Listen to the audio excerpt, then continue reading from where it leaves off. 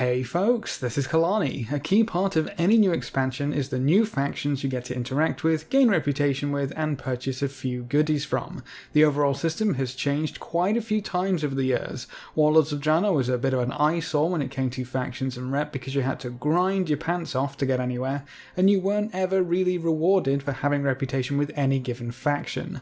Legion turned everything on its head, mainly due to the new world quest system. Finishing up world quests is typically to your advantage at the start of an expansion due to the rewards, emissary quests, and the reputation they award. Just hopping over to Stormheim and doing a few world quests earns you a good chunk of reputation with the Valarjar. It's just so easy and simple, and you work towards several goals at once. Battle for Azeroth is taking that same basic idea and adding in one or two new things, so let's have a look at the factions that we'll be earning reputation with in BFA, how we can go about actually earning the rep, and what rewards are on offer for our troubles. Remember, we're still in beta, so everything is still subject to change and may not reflect the finished product. Battle for Azeroth is a little unique in that each faction has their own island, which affects which factions you can earn reputation with. There's four factions for the Horde, four factions for the Alliance, and two neutral factions, so a total of six factions you can gain reputation with at any one time. Let's have a look at the Horde factions first. Each island is split into three zones, and each zone has their own faction, just like how things worked in Legion. The Zandalari Empire is tied to Zuldazar, Talanji's expedition is tied to Nazmir, and the Voldunai is, unsurprisingly, tied to Vol'dun. These reps are fairly straightforward. Any story quests completed within these areas will earn you reputation with the appropriate faction. These three factions are also the factions you need to reach friendly with to unlock world quests on the Horde side, so bear that in mind. You'll want to do at least a few quests in each zone before you hit 120, otherwise you're going to have to run around to scrape together the last few points of reputation you need at max level before you can venture out into the world with your buddies to knock all those world quests off the map. When you do unlock world quests, most of the ones available in each of these areas will be for their area faction, so if you want to farm rep with the Zandalari Empire, be sure to do all of the world quests available in Zuldazar, etc etc. Each faction also has an emissary quest which are easy enough to complete, finish finish 4 world quests in the faction zone and turn it into their emissary. Emissary quests currently reward 1500 reputation when you turn them in. Over on the Alliance side, we have the Proudmoore Admiralty faction tied to Tiragarde Sound, the Storm's Wake faction tied to Stormsong Valley, and the Order of Embers faction tied to Drustvar.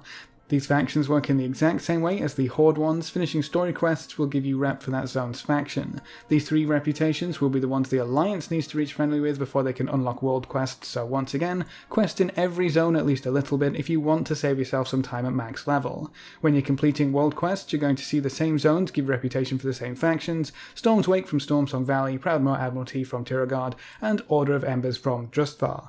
A good chunk of your rep will probably come from emissary quests, which should work the same way as the Horde emissaries, 4 quests in the proper zone to earn yourself 1500 rep when you hand the emissary quest in. As a quick note and a little proof of beta being beta, the world quests don't show you what rep they'll award right now, so it's a bit of a guessing game sometimes, but they still do reward rep, even though they don't make it super obvious. Hopefully that's just a bug with the latest build, which will be ironed out by the time things go live. If you click on an emissary quest, it does make all of the world quests related to it a little bigger and stand out a little more, so that's one way of telling right now, but it's not in the title of the world quest like it used to be and like it is in Legion. So those reputations are pretty straightforward, but I mentioned a fourth reputation for both the Horde and the Alliance. These ones work a little differently. Instead of being tied to your zones on your island, they're tied to your faction's efforts and adventures on the enemy faction's island. The Horde efforts on Kul Tiras are handled by the Honorbound, and the Alliance's incursions on Zandalar are being handled by the 7th Legion. So not only will you have factions on the home front, but an entire faction to grind reputation with, which is to do with infiltrating the opposite faction's island, collecting intel, sabotaging their efforts together Azerite, all that good stuff. I think the way Battle for Azeroth is set up provides a really unique way to approach the reputations available to your faction, and it's awesome that the dev team took that chance. It feels like they might actually be semi-serious about the faction conflict for once. Farming rep with these two factions seems like it's going to be a little harder though. You'd think that any world quest on the opposite faction's island would yield reputation with them, but it seems like that's not going to be the case, or it's supposed to be like that and it's just a bug that these world quests aren't awarding any rep at all. Either way, the main source of reputation with these factions seems to come from the war campaigns, which have you set up a base of operations in each of your enemy faction zones to unlock new world quests and follower missions. To go along with your faction specific reputations, there's also two neutral parties which both the Horde and the Alliance can earn favour with. The first is the Tortollan Seekers, who you'll meet throughout your levelling adventures. Doing them a few favours here and there is sure to earn you a bit of reputation, and they also have their own emissary and world quests, so be sure to keep an eye out for those because it seems like these neutral reps will work in the same way the Kirin Tor world quests did, except you actually need rep with these factions. The world quests seem far and few, so much so that the emissaries only require 3 world quests instead of the usual 4. The other neutral faction is the Champions of Azeroth, which are still a bit of a mystery. They didn't have any impact or presence during the leveling process, and I still haven't really bumped into them at max level. The Diamond King seems to spearhead this little operation, so you meet him once when he gives you your new artifact, but that's kind of it. I guess we'll see more of these guys later on. I guess this makes their world quests and emissaries even more valuable, and they work in the same way as the Tortollans at the moment, requiring 3 world quests instead of the usual 4. So that's the reps you'll be farming for, and a rough guesstimate of where your rep will actually come from. But what about the rewards? If there's no shinies at the end of the grind, there's no point, right? Each reputation awards a variety of goodies, including gear on par with normal raiding gear, companion pets, tabards, and profession recipes and rank ups. Let's have a look at where each faction's quartermaster currently resides and what loot lies in wait for us. There are a few rewards which have been data mined which aren't showing up in the vendors, so once again, beta is beta, but we'll still go through them. Let's start with the Horde again. The Zandalari Empire Emissary and Vendor can be found in the Great Seal, which should be really easy to find because that's the Horde's hub for this expansion. As a quick preface, all of the gear from these reps is broken down into 325 pieces at Honoured, 340 pieces at Revered, and 355 pieces at Exalted. The 355 pieces are on par with normal Uldir gear, so they're going to be pretty powerful in the weeks leading up to the first raid opening. Let's see what the Zandalari Empire has on offer. There's a 325 cloak with haste mastery, a crit haste 340 cloth belt, crit haste leather braces, crit haste mail boots, and haste verse plate legs, as well as 355 crit verse cloth legs, a crit haste leather belt, haste verse mail hands, and haste mastery plate braces. That's it for the gear, but there's also a tabard at Exalted, which looks really cool, and an armoured Cobalt Pterrordax mount, also from Exalted. The rest is all rank 3 and rank 2 recipes for alchemy, enchanting, engineering, inscription, and jewel crafting. A lot of the profession stuff is spread out amongst nearly all vendors, so you can't just grind one reputation for one profession. You're going to have to pick and choose which recipes to pursue first. There's also supposed to be a Tome of Hex, Zandalari Tendon Ripper to change the visual effects of Hex, as well as a Polymorph Dire Horn to change Mage's Polymorph, and there's also a Party Totem toy to get the mojo flowing. Probably just another AoE dance toy. Let's move on to the Talanji expedition. This emissary and vendor can be found in Nazmir at Zul'jan Ruins. These lovely chaps can offer you another Haste Mastery cloak, which makes me feel like these rewards might be placeholder or you're simply buying them for the transmog, some 340 Crit Mastery cloth legs, Crit Verse leather boots, Crit Verse mail hands, and Crit Verse plate hands. There's an item level 300 pair of cloth gloves, which I'm assuming are supposed to be 355 because they require Exalted, some 355 Haste Mastery leather legs, a Verse Mastery mail belt, and Haste Mastery plate boots. There's also a companion pet called Trag the Curious, which is sold for polished pet charms instead of gold, a Talanji's Expedition tabard, which isn't really what I expected, but very cool nonetheless, and the Blood Swarm mount, which requires Exalted Reputation. If you ever wanted to fly one of these spider bat things, here's your chance. There's also rank 2 and rank 3 recipes for alchemy, enchanting, engineering, inscription, jewel crafting, and leatherworking. Let's head on over to Vol'dun and check out the Voldunai. This emissary can be found at the Vulpera Hideaway in Vol'dun. Once again, we have a Haste Mastery 325 cloak, so hopefully one or two of these will get different stats by the time this goes live. There's some 340 Verse Mastery cloth hands, Crit Mastery leather legs, Crit Mastery mail braces, and a Crit Verse plate belt. There's also a 30 slot bag thrown into the mix here, so if you didn't already pick up a full set of those, you can buy them from the Voldunai, though the auction house might still be cheaper, especially after these are made available. Back onto the gear, we have a 355 Crit Verse cloth belt, Haste Verse leather braces, Crit Mastery mail boots, and Haste Verse plate hands. Seeing a bit of a pattern here, it seems like only a few slots will be covered by reputations when all is said and done, but at least there's one piece of gear for each armor type from each vendor. There's also the Exalted Voldunai mount, the Alabaster Hyena, which I think looks really awesome. I'm excited to get my hands on that one, and of course another Tabard, which is kind of different yet again, an interesting little aqua mark against the desert background.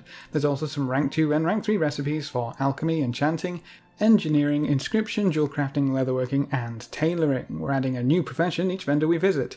The Voldunai are meant to have a whole bunch of toys available too. There's some Akunda's fire sticks for a new campfire, a desert flute to get critters to follow you, a banner to mark your slain foes in the name of the Voldunai, a ghostly explorer skull if you want to get a little weird, and some Vulpera scrapper's armor, so you too can look super fierce. Moving on to the last Horde faction, the Honorbound, this emissary can be found at the port of Zandalar in Zuldazar. Straight away we can see another Haste Mastery 325 cloak, so I'll just throw in some previews of the cloaks as well. Again, beta is beta, so these might change when everything goes live. As for the other pieces of gear, we have some 340 crit haste cloth braces, a haste verse leather belt, verse mastery mail legs, and crit haste plate boots. There's also some 355 haste mastery cloth boots, verse mastery leather hands, verse mastery mail braces, and haste mastery plate legs. We have another tabard for Exalted. This one looks exactly like I would imagine from the Horde PvP faction. Very cool indeed. Then we have all of our rank 2 and rank 3 profession recipes for alchemy, blacksmithing, enchanting, engineering, and jewel crafting. So there's our first blacksmithing recipe. I guess the rest are maybe going to be on the neutral vendors. Let's hop on over to Alliance and check out the Proudmoore Admiralty Emissary, who can be found in Boralus right smack bang in the middle of your quest pickup hub. She sells a fancy little boat cloak with 325 item level, as well as a 340 cloth belt, leather braces, mail boots, and plate legs. There's also that 30 slot bag option just in case you're in need of some easy bags, and the 355 items are cloth legs, a leather belt, mail hands, and plate braces. There's a tabard at Exalted, which is green with a golden anchor sign across the front. I'd expect no less from a harbour town.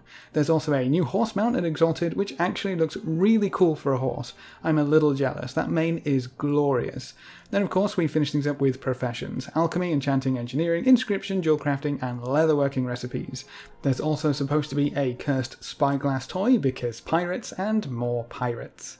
Next up is the Storm's Wake emissary, who can be found in Stormsong Valley at Brennadam. Their cloak has an interesting design, kind of looks like a pearl in the middle there, and then we have some 340 gear to go along with it. Cloth hands, leather legs, mail braces, and a plate belt.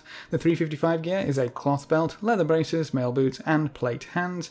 There's a little wee bee companion pet to collect from this rep, as well as another tabard and mount. The tabard is a little flashy, kind of an anchor symbol with an eye in the middle. I really like the colours on this one. And then the mount is another horsey, this time the dapple grey. A little more boring than the Proudmoore horse, though I do love the extra effects on the head and reins. You can also pick up some profession ranks for alchemy, enchanting, engineering, inscription, and jewel crafting.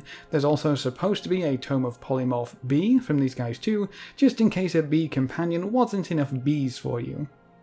The last zone-specific alliance rep is the Order of Embers, whose emissary you can find at Arom's Stand in Drustvar. He sells a cloak, as you might expect at this point, as well as some 340 cloth legs, leather boots, mail hands, and plate hands. There's an assumed to be 355 pair of cloth hands, leather legs, mail belt, and plate boots. You can also pick up a pristine falcon feather to summon a companion pet. You gotta stock up those polished pet charms if you want any of these pets, I guess. And then there's an interesting tabard from Exalted. A knife through a book on your chest. Well, at least it's different. The mount from this rep is a smoky black charger, which looks a little more boring than some of the other horse mounts in my opinion, and then more profession stuff. Alchemy, enchanting, engineering, inscription, jewel crafting, leatherworking, and tailoring. They're also meant to have a ghostly pet biscuit, just in case you wanted a spirity version of your pets, a tome of Hex Wicker Mongrel for the shamans, and a weary spirit binding axe as a new hearthstone for your spirit. The 7th Legion emissary can be found in Boralus Harbour, just outside the main quest pickup area, right next to one of the ships. These chaps offer up yet another 325 cloak, as well as some 340 cloth braces, a leather belt, mail legs, and plate boots. There's also 355 cloth boots, leather hands, mail braces, and plate legs. There's a shiny Alliance tabard for you to show off your allegiance, as well as a whole bunch more profession rank ups for alchemy, blacksmithing, enchanting, engineering, and jewel crafting. Let's finish up with the neutral faction, starting with the Tortollan Seekers. You're going to have a different emissary for the Alliance and the Horde, so the Alliance one can be found at Seekers Vista in Stormsong Valley, and the Horde one can be found at Scale Trader Post in Zuldazar. I've double triple checked these guys, and as you might expect, they sell the exact same goods to both the Horde and the Alliance, so there's no faction bias going on. There's yet another cloak, though I don't really see anything to do with scrolls in the design. For the gear, we have 340 cloth boots, leather hands, a mail belt, plate braces, 355 cloth braces, leather boots, mail legs, and a plate belt. There's a companion pet called Koopa, a cute little turtle, so it's probably just a Tortollan baby, which is kind of weird when you think about it, as well as a glyph recipe for the new Dolphin Druid aquatic form. We have a tabard at Exalted with a cool little turtle shell design, as well as a whole bunch more profession rank ups. There's alchemy, cooking, enchanting, inscription, and tailoring. There's also supposed to be a scroll of combustible critters here, which is just what it sounds like. You read a scroll to blow up any poor critters unfortunate enough to be nearby. That's all from these little guys, so let's see what we have so far on the Champions of Azeroth faction. This one is kind of frustrating because there's a few breadcrumbs here and there, but we don't have an actual vendor, or he just doesn't want to show up. We've had an emissary quest for these guys before, which handed into Magni Bronzebeard in Silithus, so if things don't change, we'll be trekking all the way down to Silithus every time we want to hand that specific emissary in. That's not too bad for the Horde, they get a portal to and from Silithus in their faction hub, but the Alliance right now don't, which makes it a huge pain in the rear, but the flip side is my Horde character can't even see Magni, while my Alliance character character can. If things stay the way they are, I would assume both factions would get a portal down to Magni's little base of operations, and he would be both the emissary turn in and the reputation vendor, but things obviously just aren't in a finished state on the beta right now. The good news is that we can still look at what rewards are on offer from this reputation, the joys of data mining. You'll be able to purchase yet another cloak, which is probably placeholder, this doesn't look like a champion's cloak at all. They don't seem to have any 340 pieces of gear, but they do have a 355 cloth head, leather chest, mail shoulders, and a plate helm. There's one recipe here for inscription for contracts, and a tabard for when you reach Exalted, which is really cool. Definitely something the King of Diamonds would want us to wear. Then there's a whole bunch of pets, and I mean a whole bunch. I'm kind of wondering if some of these are meant to be spread out among the other reputations, or if this faction is just a pet hoarder. Either way, you can get your hands on eight different pets from the Champions of Azeroth's reputation. Obviously, there's still a few kinks to smooth out, but I really like how the reputations are being set up in Battle for Azeroth, and it seems like there's definitely enough rewards to give you a good incentive to work towards Exalted for each one of them. There's a bit of a balance between working together and slaughtering each other too, which is interesting to see. I would say the Champions of Azeroth faction will probably bring us together again by the end of this expansion so we can work together to fight the Void, but for now we can all go crazy with War Mode. Also, as a little footnote, if you weren't yet aware, there's also contracts which scribes can craft. These contracts seem to channel all possible World Quest rep into a faction of your choice, so you can just farm one rep at a time by using a contract, so honestly you probably don't need to worry about anything in the long run, you'll be able to just target any rep you want at any time, providing you can get your hands on a contract.